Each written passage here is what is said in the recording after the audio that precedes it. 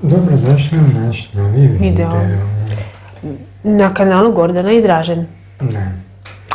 Evo, vi ste, mi smo vas pitali, vi ste rekli da želite temu ugovaranje, znači više od 50% vas je reklo, da, skoro 60% je reklo ljudi da želi temu tu. Evo mi sad razgovaramo o toj temi. Znači nećemo na nekog konkretno ići ono u glavu, nego veća, kao veću temu ćemo uzeti, širu populaciju, ajmo reći, kak bi rekla. Tako e, da ne mislite da smo mi počeli nešto lagati ili izmišljati zašto mi snimamo, zašto, zašto ono, imat ćete kroz cijeli ovaj video gdje mi dokazujemo gdje smo mi postavili pitanje ili anketu, što bi se reklo, više je stvari. Jesi ti screenshoto onaj, ono pitanje? Ima u arhivi. Ovaj, e, kako se zove, da mi pokrijemo svoje mišljenje. Znači mi smo vas pitali, vi ste odgovarali, dobili smo veliki, veliki postotak za snimanje ovoga videa i eto, naša današnja tema se zove ogovaranje u društvu. Ili, kako je rekla naša menadžerica i koja ujedno odobrava ovaj video, zvaće se ogovaranje ili trač partija u zagradi.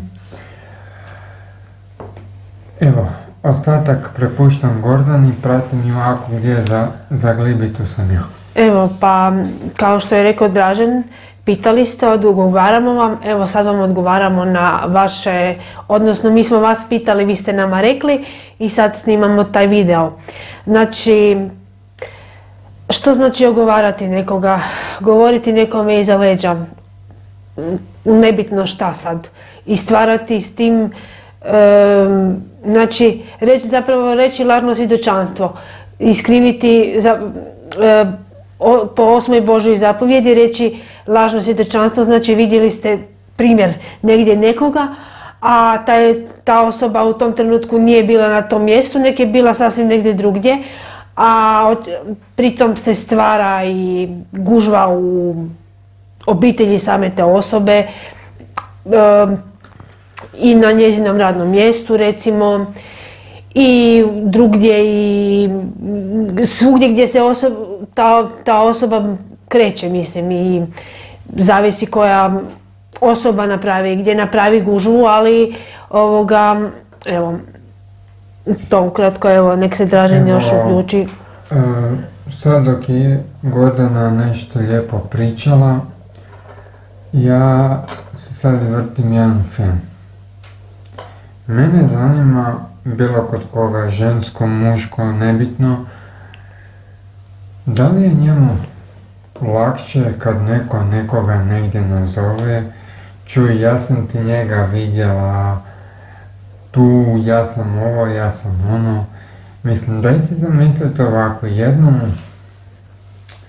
jednu sredinu, zamislite, zamislite jednu sredinu ili selo još bolje rečeno, gdje vam je u svega seli, u, u cijelom selu par kuća, jedna crkva, jedna pošta, jedan dom zdravlja pod navodnicima.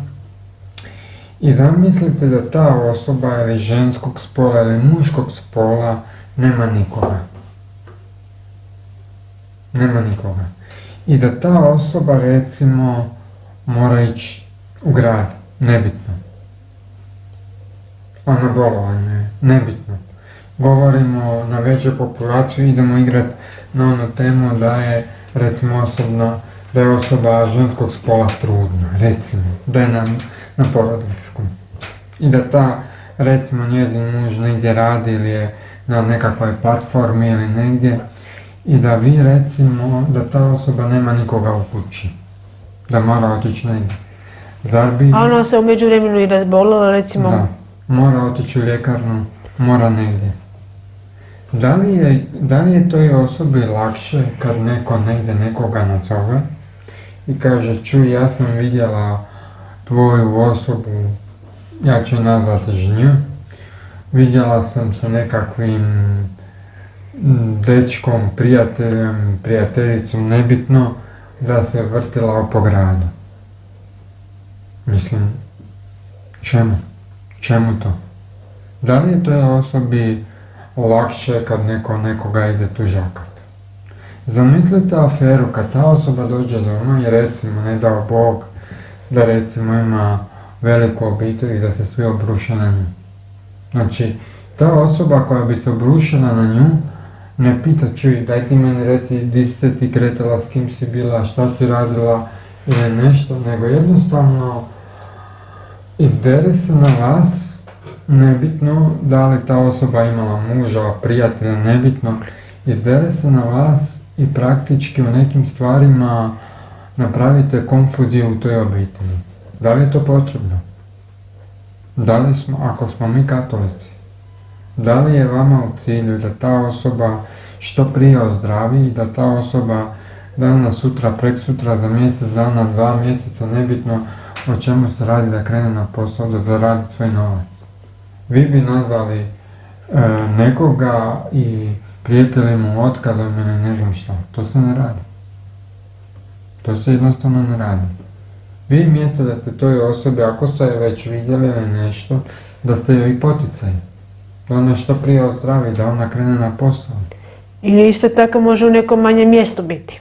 Ne Ili manjem kvartu, ne grad, bitno gdje, da. Da li je grad, da li je kamenjar, mislim da odmah tu raščistimo, nemam ja ništa protiv, ja sad idem na veću populaciju, znači nebitno da li je kamenjar, da li je selo, da li je grad, da li je um, što mi kažemo u gradu periferija, da li je nešto.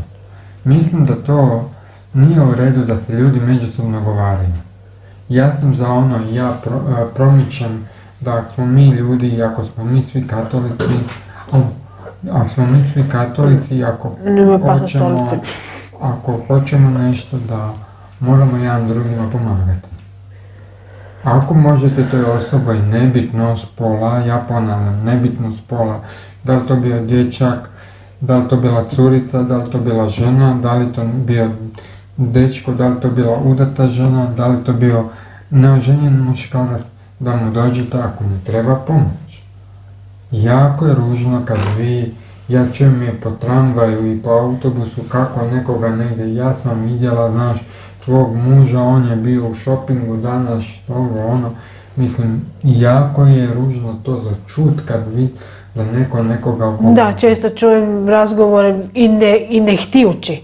Ono, ne slušajući, ne prisluškujući što drugi razgovara, ali nažalost dogodi se da se čovjek doslovce ono dere na mobitel razgovarajući ono i svoje privatne stvari priča, nebitno sad što, ali često čuješ razgovore glup, glupove koje uopće nemaš potrebe čut, mislim ono i ono vidli onoga, ja vidli ovoga. čuo, ja sam čuo jako gore, jako gore ogovaranje kad sam bio prije dvije godine uh, u Korčuli i znači žena je pričala na telefon kako je nekakav njezin susjed, znači pod koronom, pod koronom, znači ona prva situacija korone, da je otišao u ljekarnu i da jednostavno nekim stvarima nije mogao dignuti lijek ili nešto zato je, jer je imao status samoizolacije. Zamislite kako se taj čovjek osjeća, kako se u nekim stvarima nije, evo kratko i jasno da ne duljim, nije lijepo ogovarati nekoga. Ako vi možete kao, mi smo svi katolici, ima nas ljudi i drugih vjera, da, da odmah budem. Ja imam susjeda koji je druge vjere i mi smo si jako bili dobri, on je to otišao svojim putem, tako desilo se kako je, naravno Zagreb mu je skup i eto. Ali kažem, idemo si pomoć, ne trebamo si ogovarati. Ako vi imate problema, ili ste nekoga vidjeli ili nešto, nazovite drito tu osobu. Ne treba mimo te osobe da mu slažete doma probleme. Ili na poslu. Ovako je život problematičan i svašta i nešto, ne znam. Da li bi vi bili mirni kad bi ta osoba danas sutra, ne dao Bog, dobila otkaz? Da li bi vi bili mirni? A znate i sami da ste možda nekoga nazvali ili šeficu ili šefa ili voditelja smjene ili nekoga da mu strikta otkaz. Da li bi vi bili mirni? Ne bi. Ja ne bi bio miran. Ja, ja ne bi bio miran da ja svojoj djevojci striktam otkaz ili nebitno svom susjedu, dobro moji susjedi su manje više svi u mirovini, ali recimo svom jednom frendu da striktam uh, otkaz na poslu. Ja ne bi bio miran. Meni bi to proganjalo. Ja isto također ne bi bila sretna da neko, neko od mojih recimo radi pa dobio otkaz i to ne bi, mislim ne mojom krivnjom, ali, ali ne bi, ne bi mogla ovoga to ovoga, ili mojom recimo krivnjom, da slučajno neko nešto čuje ili, ali ne daj Bože. Jer nisam takva osoba da ogovaram ljude, tako da ovoga, evo, to ono što smo mi mogli kao lajci. Nismo psiholozi. ja ne bi niti ulazio u tematiku psihologa. Mislim da bi psiholozi na našem mjestu isto to pričali. Mislim da to ne treba nešto jako i nešto jako veliko da bi mi sad trebali nešto. Ali kažem, jako je, jako je, jako je ružno riječ ogovaranje. Znači, ja ne znam kako bi... Čovjeku iza leđa ovoga, o čovjeku iza njegovih leđa govoriti, to je na isti način ko kršenje osme Bože zapovjedi ne reti lažno svjedočanstvo. Ne znam kako bi vi... Toliko o tome. Koliko, ne znam kako bi vi sad rastumačili, recimo meni se desila situacija da sam pozvao ljude na rođendan kanala i da su mene jedna od tih ljudi otišli bivše djevojci i pričala neke stvari koje su općenito ne tiču niti nje, niti moje bivše, to nema smisla. Nema smisla. Di je ko šta radio, di je ovo, di smo mi, kako smo mi. To je jako, jako ružno. Prva i prva stvar, meni je to jako, jako, jako nekulturno. Mene tako, takvi, meni takvi ljudi ne trebaju biti frendovi. Znači ako ja vama kažem neku iskrenu stvar na, na kanalu, nebitno, ja mislim doista. Ako ja kažem do, iskrenu stvar da ja nekoga volim, ja znam da sam podijelio s vama u javnosti. Ja znam što mogu reći u javnosti, što ne mogu reći u javnosti. A ako ja doista Gordonu volim, a volim je previše i želio sam s njom biti od, srednje škole, ona je, ona je bila moj put vodilja. Dobro, tu i tamo smo se ono, naši putevi se nisu... Ono, Ukrstili baš u srednjoj školi. Ali, eto, da, ne, da sad ne bježimo u drugu temu, druga tema će, bit će još tih tema.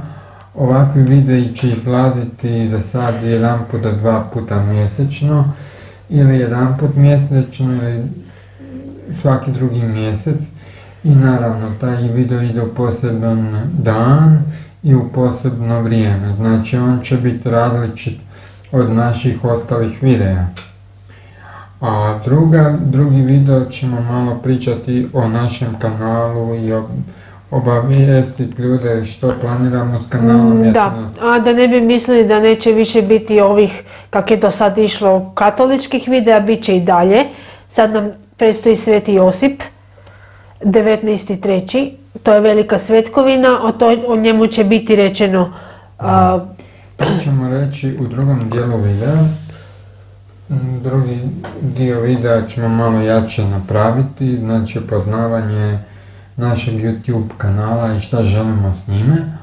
A ovo što se tiče ove teme, to je kako je naša menadžer naglasila, bit će ogovaranje u zagradi trać partija. A vi si do iduće teme mi ćemo vam svakako pratiti naš redovan Instagram, službeni uh, Gordana i Dražen ili uh, Ekopar tamo ćete imati svu informaciju koja će iduća tema biti. Da li će biti nešto povezano petljanje u tuđeg života, frendovi, braka, veze, prava osobe s invaliditetom, vidjet ćemo. Tako da do tada mi budite zdravi i živi, a, mi se vidimo... Mi se vidimo u sljedećem videu.